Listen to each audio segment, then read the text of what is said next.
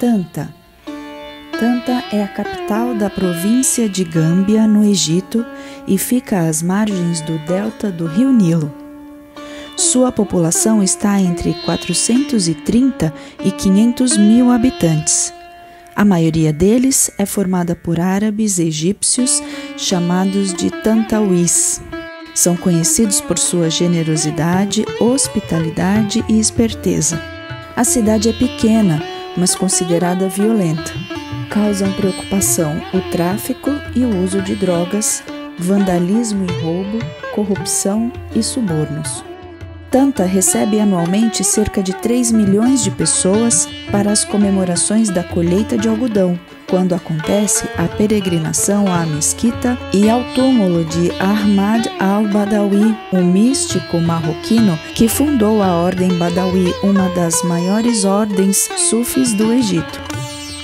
Todo o Egito tem enormes desafios, o país é muito importante no norte da África e Oriente Médio, mas enfrenta as pressões do crescimento das cidades.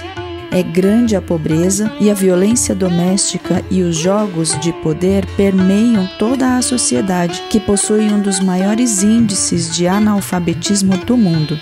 Os problemas políticos são dominantes Há um longo histórico de governos ditatoriais com ameaças aos direitos humanos e constante risco de polarização e instabilidade social. Estima-se que haja cerca de 387 mil ciganos halebis vivendo no delta do Nilo.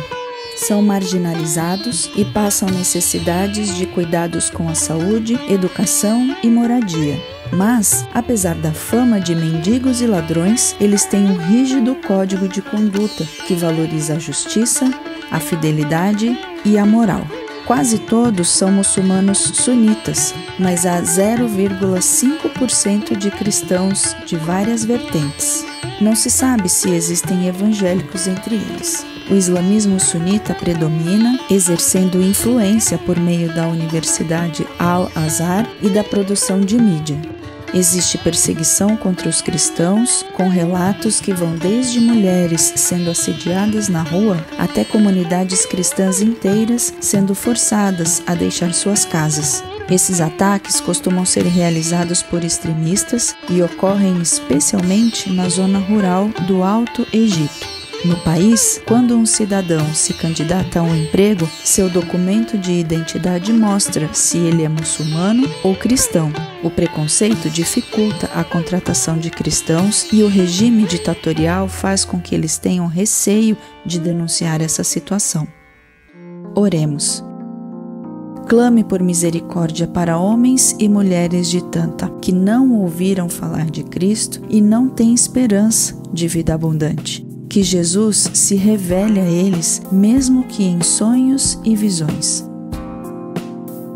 Peça para que o Senhor envie obreiros para aquela seara, servos dispostos a testemunhar no meio desse povo, apesar de possíveis riscos, a fim de que o reino se espalhe em Tanta e toda a região. Clame para que o Senhor livre o povo da violência, de tal forma que se reconheça que é a mão do Senhor que os livra do mal. Que o Santo Espírito os leve a sentir necessidade de arrependimento de pecados, que sejam convertidos dos seus maus caminhos.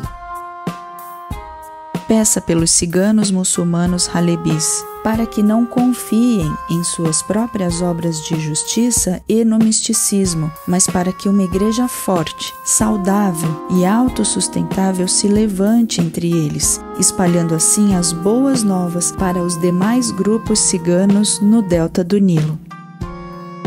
Ore para que 10% dos muçulmanos em Tanta se tornem seguidores de Jesus até 2030.